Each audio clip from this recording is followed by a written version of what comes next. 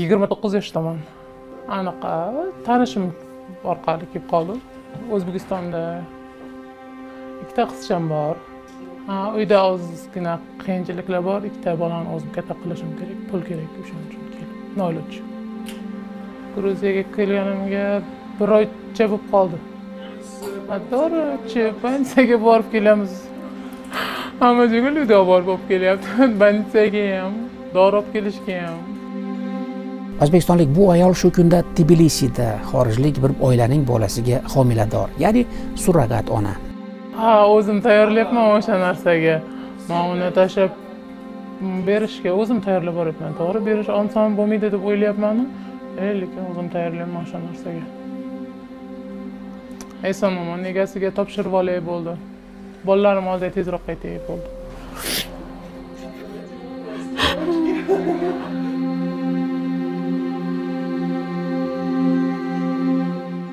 Yana bir necha oydan keyin bu bola tug'iladi va surrogat onalik muddati shartnomaga muvofiq tugaydi.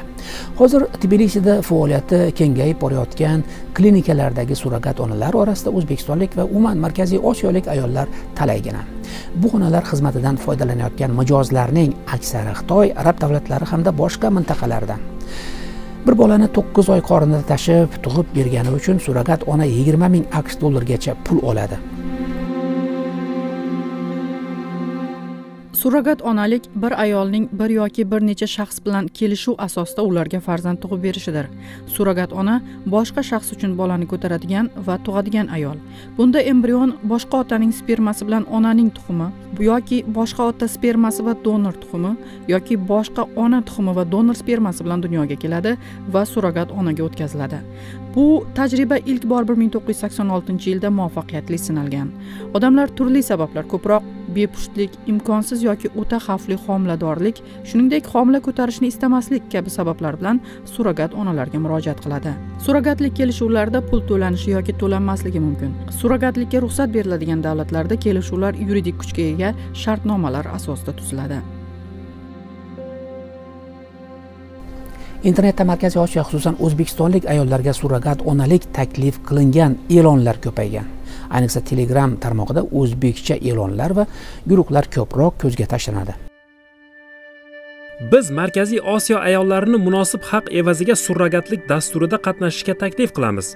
Dasturlar tbilisi gruziya va armanistonning yerevan shaharlarida bo'lib o'tadi. Surrogat ona bo'lish uchun anketani to'ldirishingiz va telegram kanalida xabar qoldirishingiz kerak. Qo'shimcha ma'lumot uchun telegram orqali bog'laning. Yoshi yigirma yoshdan o'ttiz besh yoshgacha ginekologik jismoniy ruhiy va boshqa kasalliklardan aziyat chekmaslik. Hech bo'lmaganda bitta sog'lom farzandingiz bo'lishi kamida so'nggi olti oy davomida emizishning yo'qligi. Oddiy tana turi ortiqcha vazn yo'q zararli odatlarning yo'qligi. Takliflar esa to'liq huquqiy yordam yuqori pul mukofoti dastur bilan bog'liq barcha xarajatlarni to'lash sayohat imtihon va boshqa xarajatlar. Butun homiladorlik davri uchun bepul turar joy oylik to'lovlar yuqori malakali mutaxassislar nazorati. Ozodlik ijtimoiy tarmoqlar orqali berilgan e'lonlardagi telefon raqamlariga qo'ng'iroq qildi. Go'shakni ko'targanlar matbuot uchun ma'lumot berolmasliklarini mijozlarga doir ma'lumotlar ham ochiqlanmasligini aytish bilan cheklanib muloqotdan bosh tortishdi. O'zbekistonda surrogat onalikka xaridorlar ortib borar ekan bu haqda jamoatchilik orasida hanuz ochiq muhokama yo'q. Ayrim internet nashrlari bu mavzuda ayrim o'zbek ayollari bachadonini ijaraga bermoqda. O'zbekistonlik ayollar o'z qornini yigirma ming aqsh dollargacha bo'lgan summaga ijaraga bermoqda. Mazmunidagi xabarlar ko'zga tashlanadi. Ayrim o'zbek ayollari o'z bachadonini ijaraga bermoqda. Bachadon ijarasi allaqachon bizning respublikamizga kirib kelgan. Lekin ertaga surrogat onalik chiqib ketsa hamma yoqqa bu shundoq o'zbekistonda bu borada ochiq muhokamaning yo'qligiga islom dinida buning taqiqlangani ham sabab qilib keltiriladi. Ushbu mavzuda internetda keng tarqalgan fatvolardan biri o'zbekistonning sobiq muftiysi marhum shayx muhammad sodiq muhammad yusufga tegishli. Assalomu alaykum muhtaram shayx hazratlari. Hozirgi kunda avj olib borayotgan surrogat ya'ni vaqtinchalik onalardan foydalanishga islom dinining munosabati qanday? Ular o'zi tug'olmaydigan ayollar bo'lib ularning tuxumi sun'iy urchitilib boshqa ayol bachadoniga sun'iy yo'l bilan ekiladi va homila rivojlanib tug'ilganidan keyin yuridik onaga qaytarib beriladi. Bolani qornida katta qilgan surrogat onaga buning evaziga haq to'lanadi.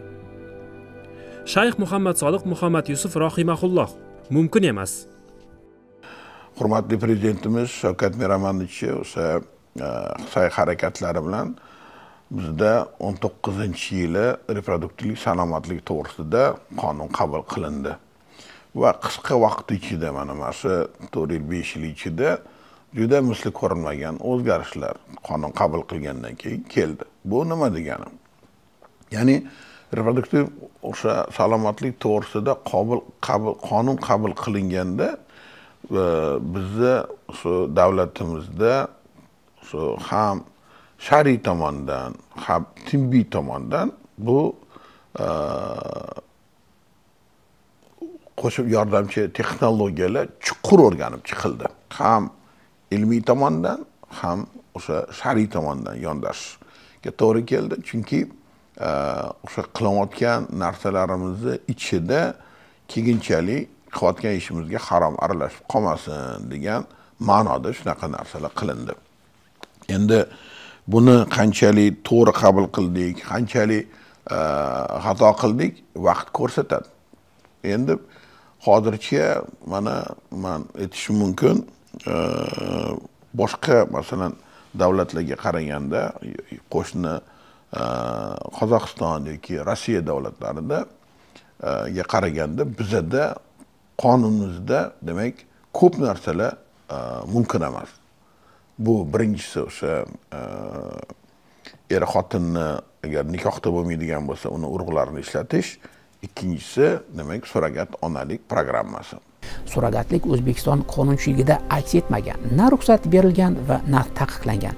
Ammo vazirlar mahkamasining odam savdosidan jabrlanganlarga oid qaroriga tirkalgan ilovada surrogat ona sifatida foydalanish ekspluatatsiya turlaridan biri sifatida keltirilgan. Boshqa gap yo'q. Surrogat onalik odam savdosiga tenglashtirilgan o'zbekistonda jinoiy javobgarlik bor. Tibbiyot nuqtai nazaridan rivojlangan davlatlarda ruxsat etilgan. Hatto donorlik ham mumkin chet elda. Yoshi hamroh kasalliklari tufayli farzand ko'ra olmaydigan juftlar surrogatdan foydalanadi. O'zbekistonda bunga ehtiyoj bor albatta. Ruxsat berish kerak. Organik kasalliklar tufayli farzand ko'ra olmay ajrashib ketayotgan juftlar muammosi hal bo'lishi uchun. Agar biznikilar xalq fikriga qarab ish tutishsa aniq taqiqlanadi. Lekin sog'liqni saqlash vazirligi tashabbusni qo'lga olib surrogatlik tartibini belgilasa yaxshi bo'lardi. 2019 yilda o'zbekiston qonunchiligiga surrogat ona tushunchasini kiritish taklif qilingandi. Parlament fuqarolarining reproduktiv salomatligini muhofaza qilish to'g'risidagi qonun loyihasini muhokama qilayotgan kezda bu taklif ham o'rtaga tashlangandi. Parlamentdagi muhokamalarda o'zbekistonda turmushga chiqqan ayollarning besh yarim foizgacha bo'lgan qismi befarzand eh, qolayotgani aytilgandi. Oliy majlis quyi palatasining o'sha paytdagi salomatlikni saqlash masalalari bo'yicha qo'mitasi raisining o'rinbosari nuriya aytjanova buni sog'lom genofond shakllantirish maqsadi bilan asoslagan edi. Mazkur qonun loyihasi o'zbekistonda xorij mamlakatlarda keng qo'llanilayotgan va zamonaviy bo'lgan sun'iy yo'l bilan urug'lantirish orqali bola tug'dirish va sog'lom genofondni shakllantirish uchun sog'lom tuxum hujayralarini tanlab olish amaliyotidan foydalanishga imkoniyat yaratib beradi. Bu taklif qonunchilik palatasi deputatlari orasida jiddiy bahs bo'lgan. Bir deputat nikohsiz farzand dunyoga kelishiga qonuniy asos yaratiladi desa boshqa biri buni yashirin odam savdosiga qiyoslagan edi.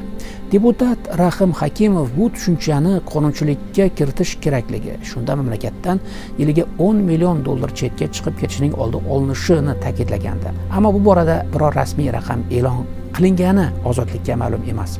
O'shanda bu masala qonunan hal bo'lmadi. Jamoat xavfsizligiga va e, sog'lig'i himoyasiga mas'ul davlat tashkilotlari xususan sog'liqni saqlash e, vazirligi esa bu masalada sukut saqlamoqda.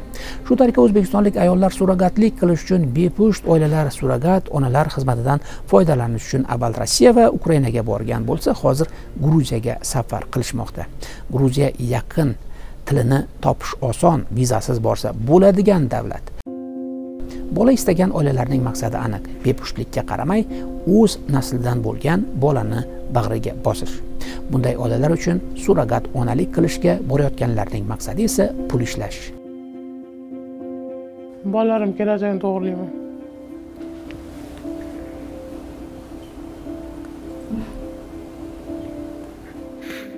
bo'ldi. Bolalarim o'qitaman uy qilaman eng asosiysi uyimni remont qilishim kerak aytdimmi eshigim derazam yo'q uyimda deb. O'shalarni o'shqatishim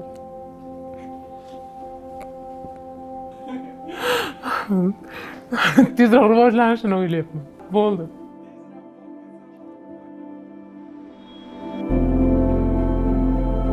Tbilisidagi klinikalardan olingan ma'lumotlarga ko'ra shu kunda surrogat ona bo'lish uchun da'vogar ayollarning aksari qo'lida yosh bolalari bo'lgan boshpanasiz va yolg'iz ayollar ya'ni surrogatlik qilishga ayollarni aksar hollarda yo'qchillik majburlaydi.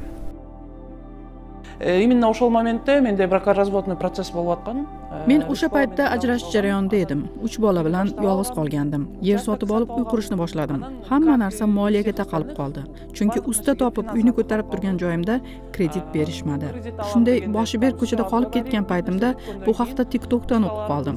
Bu agentlik farzand ko'rishga umuman imkoni yo'q. Surrogat onalik oxirgi imkoni bo'lgan qonuniy er xotinlargagina yordam berar ekan shuning uchun o'yladimki men ularga yordam beraman ham o'zimning oilamni qutqaraman dedim. Shuning uchun mening vijdonim tinch. Hozirdan bu bola meniki emas tug'ilsa uni oilasiga beraman deb o'zimni tayyorlab boryapman. Отказалась surrogatlik xizmatini rossiya va ukrainada boshlagan ko'pchilik klinikalar hozir biznesini gruziyaga ko'chirmoqda. Boisi rossiyada xorij fuqarolariga surrogat onalar xizmatidan foydalanish taqiqlandi. Bu klinikalarning asosiy xaridorlari esa rossiya emas xorij fuqarolaridir. Ukraina esa urush ichida qolgan. Shu bois bu davlatdagi klinikalar ham gruziyaga ko'chdi жакында грузияга көчүп келдик. Себептен москвада иштейт болчук gruziyada yaqinda ish boshladik. Ungacha moskvada edik. Rossiyada chet elliklar uchun surrogat onalik qilish taqiqlandi. Shuning uchun hozir bizning mijozlarimiz gruziya va armanistonga boryapti. Bishkekda ofisimiz bor. Surrogat ona bo'lishni istovchilar bizning tiktok va instagramdagi e'lonlarimiz orqali kelishyapti. Kimlardir tanishlaridan e'lon oladi. Albatta buning ham o'z talab va cheklovlari bor. Ayol yigirma yoshdan katta bo'lishi va hech bo'lmaganda bitta bolasi bo'lishi lozim. Agar bir marta kesir amaliyotidan o'tgan bo'lsa mumkin agar ikki yoki undan ortiq bo'lsa mumkin emas. Bizdagilar asosan qirg'iziston va qozog'istondan borgan onalar. Тааныштары суррогатный мама болуп келгендер уже. Qirg'izistonda surrogat onalik taqiqlanmagan. Qonunchilikka binoan yigirma yoshdan qirq yoshgacha bo'lgan ayollar surrogatlik qilishlari mumkin. Lekin mutaxassislarning aytishicha qirg'izistonda surrogat onalikka zarur tibbiy sharoiti bo'lgan klinikalar yo'q hisobi. Shuning uchun aksar mijozlar gruziyaga yo'l olmoqda. Gruziyada surrogat onalik uchun rasman ruxsat berilganiga yigirma besh yildan oshdi. Sog'liqni saqlash to'g'risidagi gruziya qonuni surrogatlikni bepusht oilalar uchun zamonaviy davolanish metodlaridan biri sifatida tan oladi. Qonunga binoan bu xizmatdan faqat qonuniy nikohdan o'tgan oilalargina foydalanishi mumkin. Dunyoda surrogatlik masalasi hanuz biroz bahsli va buning sabablari ko'proq axloqiy diniy qadriyatlarga borib taqaladi. Nafaqat islom balki nasroniylik dini ham buni taqiqlaydi. Agar donorlik hujayralaridan hosil bo'lgan bola bo'ladigan bo'lsa tushunyapsizmi? Tuxum hujayrasi ham donorlik. Erkak hujayrasi ham donorlik bu bolani hech kimi yo'q. Bu bu e, genetik irsiy nuqtai nazaridan hech kimni farzandi emas. Man buni birinchi marta eshitganimda ikki ming ikkinchi yilda eshitgan edim o'sha как раз rossiyada kongressda bo'lgan edik shu surrogat onalik to'g'risida gap ketganda moskvadagi bir xonali kvartira to'g'risida gap ketgan. Endi o'sha paytda shuncha pul tursa kerak o'sha kvartira. O'ttiz ming bo'lsin oltmish ming dollar bo'lsin. Unga siz odamni qaytarib olib kela olmaysizku yoki salomatligiga zarar yetkaza olmaysiz bu birinchidan. Ikkinchidan o'zi buni qiynalib tug'gandan keyin u bolasini berishi ham endi onani o'rniga kirishimiz qiyin erkak sifatida. Endi baribir bu o'ziga xos holat buni juda og'ir tushunishi mumkin. O'zida keyin psixologik og'ir holatlarni keltirib chiqarishi mumkin. Endi bularni e, bilasizmi qanaqa ikki xil qaralash bo'lyaptida bu yerda. Har bitta ayol tug'ishini bo'yniga olgandan keyin o'limini bo'yniga olib tug'adi.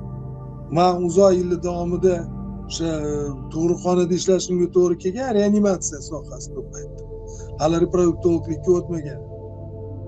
O'shaning uchun mm, soppa sotib turganingizda ham turli holatlar bo'lishi mumkin. Hmm. o'zingiz bilasiz ayolsiz shuning uchun endi pulga muhtoj bo'lgan holatda e, bu endi ayol kishini o'limini bo'yniga qo'yib turib ekspluatatsiya qilishga hamma davlatlar ham ruxsat beruvdi. Hozirda fransiya germaniya avstriya norvegiya shvetsiya va aqshning ayrim shtatlari arizona michigan nyu jersida bu amaliyot to'liq taqiqlangan. Ayni paytda aksar yevropa davlatlari jumladan germaniya va fransiyada bu amaliyot ayolning sha'nini yerga uradi. Boisi bir ayoldan boshqalar o'z manfaati yo'lida foydalanishiga imkon beradi degan tushuncha bor. Ayrim davlatlar jumladan britaniya daniya kanada isroil niderlandiya hindiston va aqshning qator shtatlarida pul ishlamasdan ya'ni o'zaro kelishuv asosida surrogatlik qilishga ba'zi cheklovlar bilan ruxsat berilgan. Aqshning qator shtatlari janubiy afrika gruziya qozog'iston va ukraina va rossiyada ruxsat berilgan. Faqat rossiya 2019 yilda chet ellik fuqarolarning rossiyada surrogat ona xizmatidan foydalanishini taqiqlab qo'ygan edi. o'n yil oldin surrogat olgan ona bo'lgan odam man ayolni juda yaxshi bilaman yaqinda o'zi uchun tug'ib oldi baribir. Shu psixologik juda chuqur yomon depressiyaga tushib qolgan edi bolasini. Bekinim borib bolasini ko'rib kelar ekan shuning uchun mani fikrim bitta. Ay, e, buni oqibati yaxshi emas. Baribir risk sog'liq uchun juda katta va uni psixologik omillari ham juda og'ir bo'ladi. Bu yo'l bilan pul topib moddiy ahvolda to'g'irlayman deb harakat qilish manimcha bu noto'g'ri narsa. Lekin qonunda bu narsani o'sha e, taqiqlash bilan shu narsaga erishaman deyish ham bu masalani hal qilmasligini aniq bilaman. Davlat tomonidan masalan taqiq emas har bir insonni o'ziga e, tanlovni bergan to'g'riroq bo'ladi deb tushunardim. Chunki xudoni oldida o'zi javobini beradi qilgan ishi uchun. E, o'zi shariatda ham xuddi shunaqa. Shuning uchun shar'iy masalan qonunlarni davlatni qonunlari sifatida qabul qilish to'g'ri emas deb tushunaman. Chunki e, o'zbekiston demokratik o'sha e, yuqori e, saviyali va dunyo o'sha demokratik davlat bo'lgani uchun manimcha shu insonlarni o'ziga qoldirish to'g'ri bo'lsa kerak deb o'ylayman.